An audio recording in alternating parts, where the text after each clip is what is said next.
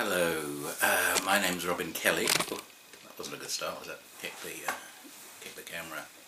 Um, and I'm a medical doctor and have been so for 40 years. Um, and uh, my medical career has followed an interesting course and I spent uh, six years in hospital and went into general practice here in New Zealand and uh, became very intrigued by other types of uh, medicine, other worldviews, um, including Chinese medicine and Ayurvedic medicine, and more recently what we call mind-body medicine, um, and understanding the role of emotions uh, in health, um, and understanding the role of spirituality, uh, whatever that means for anybody, uh, and meaning in, in their lives. So uh, my, my life, uh, my practicing life has developed that, that way, uh, as well as my philosophies, I think. And I, have um, uh, tried my best to help people through difficult times. Uh, and, and, because of that, I've spent uh, a lot of my practicing life now at home with my gorgeous wife Trish, helping um, people listening to people, uh, allowing stories to unfold and solutions to uh, uh, unravel, basically, their lives unravel. Uh, I'm particularly interested in the role of relationships and health, um, and hence this is perhaps uh, one of the most difficult things I've ever done, uh, is to start a series on how something has affected me and my family so much. Um, and I mean, in short, for five years we have been in a sort of prison. Um, uh, we have been um, incarcerated, if you like, uh, by um, forces uh, in our society, uh, in particular coming from one individual, but something that I, I, I will say spreads to so many others. We were incarcerated with this, and, and that has completely um, knocked me, um, changed the way I've had to practice for financial reasons, um, and threatened my usual jolly, happy-go-lucky demeanour. Um, I've written some books, and in my first book I dared to say that everybody is a healer, um, and uh, even I've had vision, visions of Hitler uh, on the deck of his holiday home um, patting his dog and the dog wagging its tail and I'm saying there's potential there for everybody. Um, I have to say that that, that uh, worldview, that rosy worldview has been somewhat um, tested uh, in the last five years.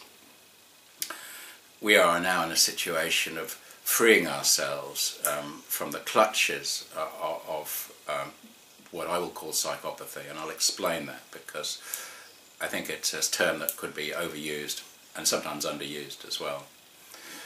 Um, and we and our family and me uh, in particular, it's terribly important that I don't carry the scars of this, the bitterness, the anger uh, that I still feel um, into uh, other people's lives. Um, and this is the reason uh, I'm titling this the series uh, "Goodbye Psychopaths" because I I see this as a virus that has um, becoming we're becoming aware of. It's a virus uh, that um, is as deadly as any other virus.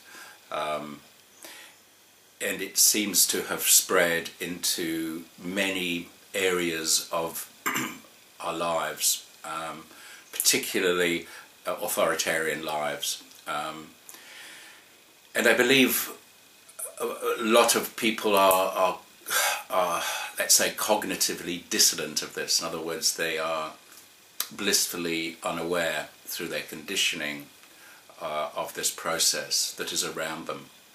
Others are willfully blind, um, that they do realize something is wrong, but somehow their lives and uh, let's say their salaries and their futures um, depend on playing this game. I've been very reluctant in my life to use the word evil um, and if I do use that word I, I, see it as the opposite of live basically if you spell live backwards you, you have evil Um, our life here is, I believe, um, supposed to be joyful. We're supposed to be light-hearted. We're supposed to be working in communities, uh, uh, maybe of a hundred or so uh, people. We're supposed to eat, eat locally. Um, we are supposed to be challenged, uh, and we are. That is, we do need a certain amount of stress. Um, we need to run and sprint sometimes. Uh, we need to watch out as we cross the road.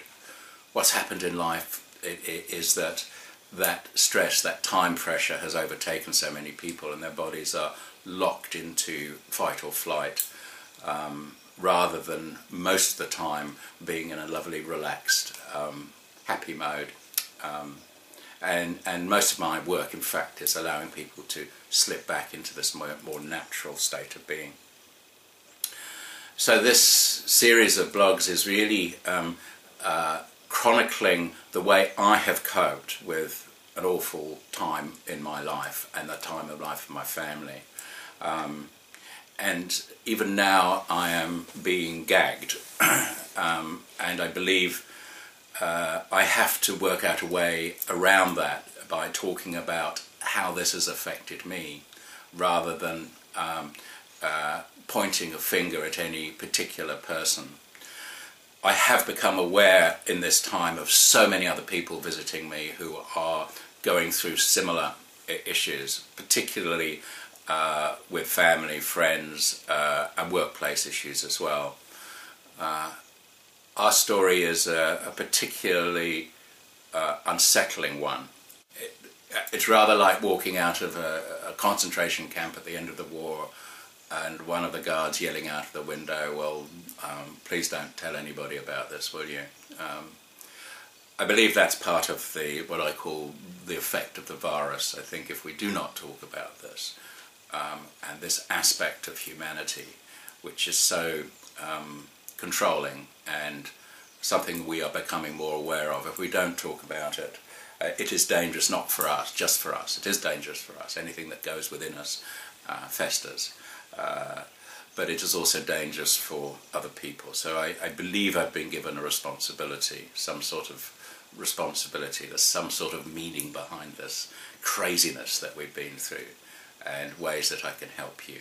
So thank you. This is the this is the start of uh, a series where I hope to in each I hope to impart in each video um, some thing that I have learned both through the experience and through some study and through talking to people to get people not only through this uh, attack that is fairly constant uh, for many people, but actually to come out the other side not damaged with as few scars as possible and being able to live their lives uh, as normally and fruitfully and happily as they can.